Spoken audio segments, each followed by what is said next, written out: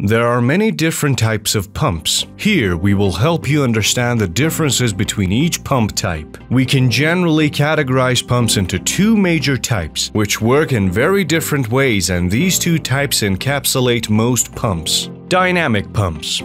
Positive displacement pumps.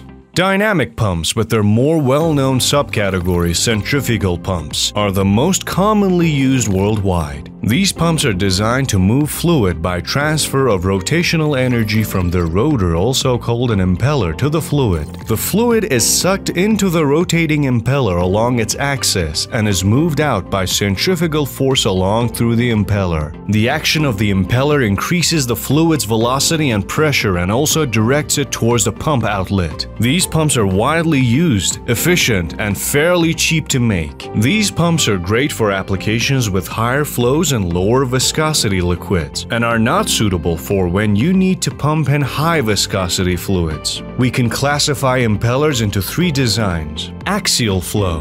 The axial flow impeller discharges fluid along the shaft axis. Radial flow. The radial flow impeller discharges the fluid radially at 90 degrees to the shaft axis. Mixed flow. The mixed flow impeller discharges fluid in a conical direction using a combined radial and axial pumping action. Positive displacement pumps.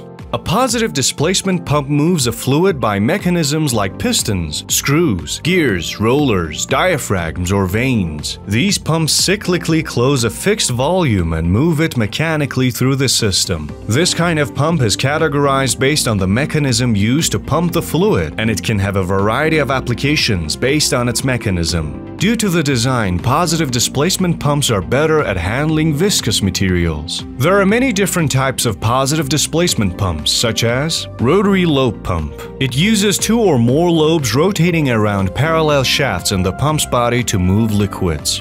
Progressing cavity pump. It transfers fluid through a process, through the pump of a sequence of small, fixed-shaped discrete cavities as its rotor is turned. Rotary gear pump. It employs a rotor and idler gear assembly to generate its flow. Piston pump, which uses reciprocating pistons to move the fluid. Diaphragm pump, that uses a combination of reciprocating action of a diaphragm and valves on either side of the diaphragm to pump a fluid. Screw pump, that uses one or several screws to move the fluid across its screw axis. Gear pump, that uses gears to pump fluid by displacement. Vane pump consists of vanes mounted to a rotor that rotates inside a cavity and moves the fluid. Peristaltic pump, consisting of a single piece of hose which is compressed via rollers or shoes, moving fluid from the inlet to the outlet of the pump.